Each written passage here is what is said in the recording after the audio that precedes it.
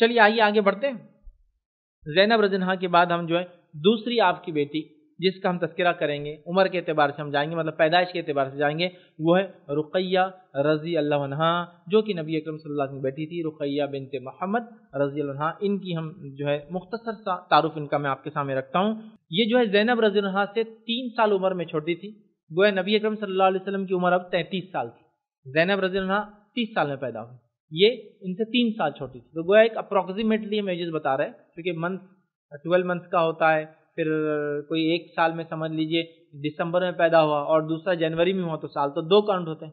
عربی کیلنڈر بھی سیم ہوتا ہے نا، سمجھو، جو بھی ہے۔ تو اس طرح سے کبھی ہوتا ہے چیزیں، غلط ملت ہوتی ہے، عمروں میں آگے پیچھے ہوتا ہے بہرحال۔ بہرحال، تو تھرٹی تھری ایئرس اپروکسیمیٹلی اندازہ نبی اکرم صلی اللہ علیہ وسلم کی عمر تھی اور یہ تین سال چھوٹی تھی اپنی بڑی بہن زینب رضی اللہ عنہ سے، یاد رکھیے۔ اور اللہ کے رسول کی عمر جب تینتیس سال تھی پیدا ہوئی، ٹھیک ہے؟ اور جیسا کہ ہم سب جانتے ہیں، رقیہ رضی اللہ کا اور ام کلثوم رضی اللہ کا ابو لہب کے دو بیٹوں سے رشتہ پکا ہو گیا تھا۔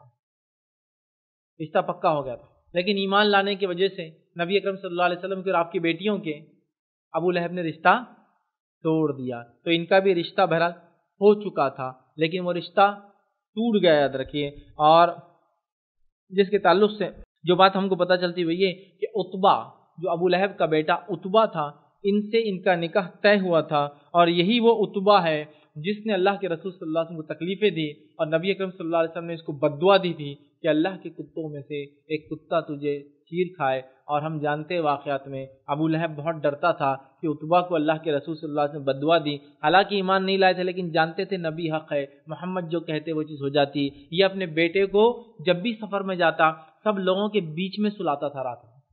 کیونکہ وہ جانتا تھا کہ محمد صلی اللہ علیہ وسلم نے بدعا دے دی کیا بدعا دی ہے؟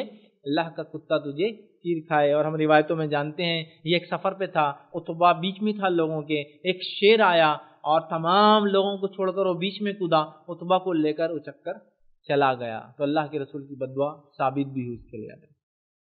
یہ رشتہ توڑا تھا بول کے بدعا نہیں دی تھی، وہ تکلیف دیتا تھا۔ سمجھے؟ لیکن رشتہ بھی ہوا تھا۔ یہ رشتہ ٹوٹ گیا۔ اس کے بعد ان کا رشتہ کس سے ہوا؟ ہم سب جانتے ہیں۔ ان کا رشتہ عثمان ابن عفان رضی اللہ عنہ سے ان کا جو ہے رشتہ ہوا، یاد رکھیے۔ اور جیسا کہ ہم سب جانتے ہیں، صحابہ میں یہ بات مشہور تھی اس جوڑے کے بارے میں۔ عثمان ابن عفان اور رقیہ رضی اللہ عنہما کے بارے میں یہ بات مشہور تھی اور کیا کہا کرتے تھے؟ انسانوں کا بہترین جوڑا اس سرزمین پر رقیہ اور عثمان کا ہے۔ یہ بات صحابہ میں مشہور اور معروف تھی کہ انسانوں میں سب سے بہترین جوڑا دنیا کے اندر وہ کس کا ہے؟ عثمان کا اور رقیہ رضنہا کا ہے۔ مطلب یہ بہت ہی دیندار، نیک، عبادت گزار دو مومن لوگ تھے جن کے نکاح ہوئے۔ یہ نکاح مثالی تھا، یہ جوڑا مثالی تھا، ان کی عبادتیں مثالی تھی، ان کا عمل، طرز سب مثالی تھا یاد تو صحابہ مشہور تھا کہ اگر مثالی کوئی جوڑا ہے تو وہ رقیہ اور عثمان کا بہرحال جوڑا ہے، یہ بات صحابہ میں مشہور اور معروف تھی، یاد رکھیں، ٹھیک ہے؟ اسی طرح ہم دیکھتے ہیں کہ رقیہ رضی اللہ جو ہے ان کی بڑی قربانیاں رہی اسلام کے لیے اور انہوں نے تین تین ہجرتیں کی۔ دو بار حبشہ، ایک بار مدینہ۔ مطلب حبشہ ایک بار گئی پھر واپس آئی۔ آپ سب جانتے ہیں نا، حبشہ کی پہلی ہجرت ہوئی، چند لوگ گئے۔ اور جب یہ دو میاں بیوی گئے، جو پہلے شروعاتی لوگ گئے، کم تھے ذرا تعداد میں، اس میں عثمان ابن عفان بھی شامل تھے اور رقیہ رضحاں شامل تھی اور یہ دونوں گئے۔ نبی اکرم صلی اللہ علیہ نے فرمایا، ابراہیم علیہ السلاۃ والسلام کے بعد کسی نے اگر ہجرت کی میاں بیوی نہیں مل کر تو وہ عثمان اور رقیہ ہے۔ مطلب ایک تو ابراہیم علیہ السلام نے ہجرت کی تھی اپنی بیوی کے ساتھ۔ اس کے بعد اگر انسانیت میں دوسری ہجرت کسی نے کی ہے وہ عثمان نے اور اس کی بیوی رقیہ نے کی اور دونوں میاں بیوی تھے۔ تو ابراہیم علیہ السلام اور سارا علیہ السلام میاں بیوی ہجرت کر رہے ہیں اور یہاں بھی سیم عثمان ہے اور رقیہ جنہا ہیں دونوں ہجرت کر رہے تو کہا انسانیت میں دوسری بار کسی نے ہجرت کی میاں بیوی نے تو وہ عثمان اور رقیہ ہے تو انہوں نے پہلی ہجرت کی ہمیشہ کم تعداد میں پھر خبر پھیل گئی جھوٹی کی، مکے کے لوگ ایمان لا لی واپس آئے۔ جب دیکھا مکے کے نزدیک آنے کے بعد تو افواہ نکلی۔ کچھ لوگوں نے سوچا واپس چلے جاتے ہیں، لیکن کچھ لوگ پھر لوٹ گئے، تو یہ لوٹ گئے۔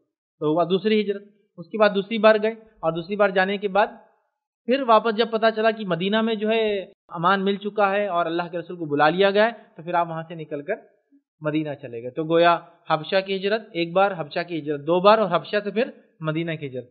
تو ہجرت کی ہجرت کرنا یہ کوئی مذاق نہیں یاد رکھے اپنا گھر، بار، وطن، مال، دولت، سب کچھ چھوڑ کے۔ دو دو بار۔ اور تیسری بار پھر بہرحال مدینہ پہنچ گئے اور ان کے شوہر عثمان ابن عفان ان کے ساتھ تھے۔ تو ان کو یہ خصوصیت حاصل ہے، حبشہ ہجرت کی، پھر حبشہ ہجرت کی، پھر حبشہ سے مدینہ ہجرت کی، یاد رکھیے۔ اور وہیں قیام کے دوران حبشہ میں آپ کو ایک بیٹا پیدا ہوا، جس کا نام آپ نے عبداللہ رکھا، یاد رکھیے، عبداللہ بن عثمان رضی اللہ عنہما۔ ٹھیک ہے؟ حضرت عثمان کے بیٹے تھے، جن کا نام عبداللہ تھا یاد رکھیے، اور انہی کو عبداللہ اکبر بھی کہا جاتا ہے، بڑے عبداللہ۔ کیونکہ ہوتا کیا ہے کہ عربوں میں یہ بات کامن تھی، اور آج بھی آپ دیکھ سکتے ہیں۔ وہ کبھی کبھار اپنے نام، اپنے بچوں کے نام ایک جیسے رکھتے ہیں۔ ایک مشہور اور معروف مصنف ہے، جن کا نام عبداللہ بن عبداللہ بن عبداللہ ہے۔ عبداللہ ان کا نام ہے، ان کا ابا کا نام بھی عبداللہ اور ان کے دادا کے نام بھی عبداللہ ہے۔ وہ آج بھی ایسے ہی کرتے ہیں۔ بچوں میں اگر ایک بیوی سے بچے ہیں تو ایک عبداللہ اور عبد الرحمان تو دوسری بیوی کے دو بچے تو وہ بھی عبداللہ اور عبد الرحمان تیسری بیوی کے بچے ہیں تو اس کو بھی عبداللہ اور عبد الرحمان تو عبداللہ اکبر، بڑے عبداللہ، چھوٹے عبداللہ اور بیچ والے عبداللہ۔ عبداللہ اکبر، عبداللہ اوسط، عبداللہ اصغر مطلب بڑا عبداللہ، بیچ والا عبداللہ اور چھوٹا عبداللہ۔ یہ کامن تھا عربوں کے اندر۔ تو اسی لیے عبداللہ اکبر مطلب بڑے والے عبداللہ، ایسا ہم بھی اردو میں کرتے نا دو گھر میں بچے ہیں، بہنوں کے جو بھی ایک جیسے نام ہو جائے، تو کرے بڑے عبداللہ کو بلاؤ۔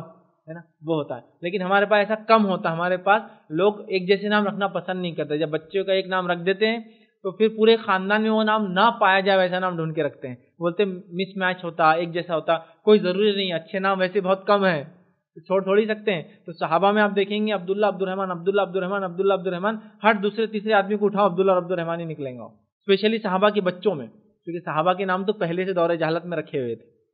لیکن باقی آپ ان کے بعد کی نسلیں دیکھیں گے تو عبداللہ اور عبد الرحمان سے بھرے پڑے ملیں گے آپ عمر ابن خطاب رضن کے بچوں کا نام عبداللہ عبد الرحمان اور بکر صدیق کے بچوں کا نام عبداللہ عبد الرحمان بہرحال، بڑے تھے۔ عبداللہ اکبر، انہیں جو ہے کہا جاتا ہے، یاد رکھیے۔ ان کے تعلق سے ایک بات مشہور ہے کہ یہ کم عمر میں مرغے کی ٹھونگ مارنے سے انتقال کر گئے یا ریون کوا جو ہوتا ہے نا کوا تو چھوٹا ہوتا ہے، ایک کاوڑا، سمجھتے ہیں آپ؟ بڑا کوا۔ آپ کو یہاں نہیں دکھیں گے۔ ہاں، شہروں میں چھوٹے کوے ہوتے ہیں بڑے کوے بھی ہوتے، جنگلی کوے ریوین بولتے ہیں ان کو، یہ کرو ہوتا ہے ہمارا، بہرحال۔ تو یہ بات میں آتا ہوں بڑا کوا یا ایک مرغ نے آنکھ کے قریب کہیں ٹھونگ ماری، جس کے نتیجے میں ان کو ریبیز وغیرہ جو بھی بیماری تھی، اس کے ہو کر انتقال کر گئے۔ لیکن یہ بات جدید تحقیق کے مطابق کچھ علماء میں اب اختلاف کر رہے کہ یہ واقعہ درست نہیں ہے۔ ہم تو نبی اکرم صلی اللہ علیہ وسلم کے خانوادے سے، خاندان سے محبت کرنے والے لوگ ہیں۔ ہم کسی سے بغض اور نفرت نہیں رکھتے ہیں۔ کسی کو زیادہ اور کسی کو کم نہیں سمجھتے ہیں۔ ہاں جن کی فضائل وغیرہ اللہ کے رسول صلی اللہ علیہ وسلم خود بتا دیے وہ ایک الگ بات ہے۔ لیکن اپنی طرف سے ہم اونچ نیچ نہیں کرتے ہیں، آگے پیچھے کسی کو مقام نہیں کرتے سمجھ رہے آپ بات؟ کو بہرحال۔ جو روایت یہ بیان کی گئی کہ ان کو ٹھونگ مارا، کوے نے یاد رکھیے، ٹھیک ہے؟ یہ روایت کے تعلق سے بھی یاد رکھیے، اس میں بڑا اختلاف ہے۔ اور کب انتخاب ہوا؟ کچھ نے لکھا کہ یہ چار سال کے تھے تو وفات ہوگی، کچھ نے لکھا چھ سال کے تھے تو وفات ہوگی۔ کچھ نے لکھا بارہ سال کے تھے تو وفات ہوگی، اور کچھ نے لکھا بہتر سال کے تھے تو وفات ہوگی۔ اتنا اختلاف ہے۔ گویا چھپانے کی کوشش کی گئی۔ سمجھ رہا بات کو؟ بہرحال، لیکن ان کے تعلق سے جو باتیں جدید اس کے مطابق ملتی ہے، وہ یہ ہے کہ عثمان ابن عفان رضی اللہ عنہ کے یہ جو بیٹے تھے، یہ بڑے ہوئے اور بڑے ہو کر ان کا انتقال ہوا۔ اسی طرح فاطمہ رضی اللہ کے جو پوتے تھے، جن کا نام علی بن حسین ہے ٹھیک ہے؟ علی بن حسین ہے رضی اللہ عنہ، جو کہ معروف ہے زین العابدین کے نام سے۔ ٹھیک حسین رضی اللہ عنہ کی بیٹے تھے۔ ان کا نام علی تھا۔ زین العابدین ہی کہلاتے تھے۔ ان کے تعلق سے آتا ہے کہ رقیہ رضنہ کے صاحبزادے، جن کا نام عبداللہ بن عثمان تھا، یہ جو زین العابدین تھے، ان کے شاگرد تھے۔ اور اس بات کو امام ابن تیمیہ نے جو ہے منہاج السنہ اپنی کتاب کے اندر نقل کیا۔ منہاج السنہ میں زین العابدین جو ہے ان کے جو استاد ہیں، امام ابن تیمیہ ان استادوں کو نقل کرتے ہیں۔ اور جب ان استادوں کو نقل کرتے ہیں، تو اس میں ایک استاد کا نام آپ لکھتے ہیں، عبداللہ بن عثمان رضی اللہ عنہما۔ رقیہ رضی اللہ جو ہے، عبادت گزار نیک خاتون کی یاد رکھی کئی موقع ملا تو تفصیلات پھر ہم کبھی دیکھیں گے۔ انشاءاللہ آج شارٹ میں ہم دیکھ رہے ہیں۔ تو دو ہجری میں آپ کو چیچک نکلی روایتوں میں آتا ہے۔ اور چیچک کے نتیجے میں اس مرض میں آپ مبتلا ہوئی اور اس مرض میں مبتلا ہوئی۔ جب آپ اس مرض میں مبتلا ہوئی یہ جنگ بدر کا وقت تھا۔ نبی اکرم صلی اللہ علیہ وسلم مدینہ چھوڑ کر جا رہے تھے۔ عثمان ابن عفان رضی اللہ عنہ بھی ساتھ تھے۔ جب اب آپ کی بیوی کی حالت خراب ہوئی، نبی اکرم صلی اللہ علیہ وسلم کی بیٹی کی حالت خراب ہوئی، اللہ کے رسول صلی اللہ علیہ وسلم حکم دیا، عثمان جو ہے، رقیہ کی خدمت کے لیے کوئی موجود نہیں، لہٰذا تم مدینہ میں رکو اور رقیہ کی خدمت کرو کیونکہ وہ بہت بیمار ہے اسی وجہ سے عثمان ابن عفان جنگ بدر میں نہیں جا سکے۔ بہت سارے لوگ عثمان ابن عفان رضی اللہ عنہ پہ الزام لگاتے ہیں۔ کہ عثمان جنگ بدر میں نہیں تھے، لیکن عثمان مجبور تھے، ان کی بیوی کی تیمارداری کرنے کوئی نہیں تھا، اور وہ شدید بیمار ہوئی، شدید بیمار ہوئی۔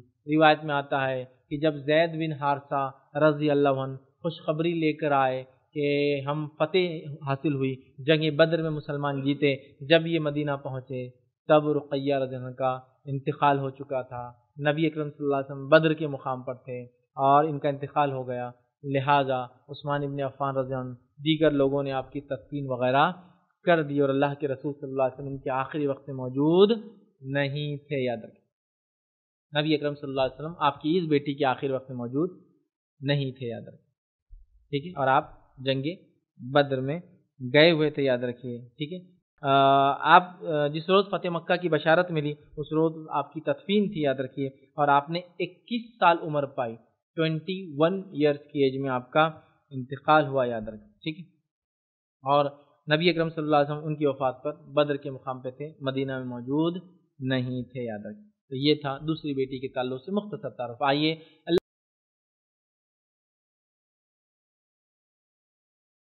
السلام علیکم۔ آپ بھی ہمارے اس کام میں تعاون کریں، اپنی زکات و صدقات کے ذریعے ڈونیشن ڈیٹیلز کے لیے ڈونیٹ پر کلک کریں۔ اگر آپ کو ہمارے ویڈیوز پسند آئے ہیں، تو اسے شیئر کریں اور سب کے حقدار بنیں۔ روزانہ ہمارے ویڈیوز کو پانے کے لیے ہمارے یوٹیوب چینل کو سبسکرائب کریں اور بیل آئکن دبائیں۔ ہم سے دیگر سوشل میڈیا پر جڑنے کے لیے ویڈیو میں دیے گئے آئی ڈی کو سرچ کریں۔ جزاک اللہ۔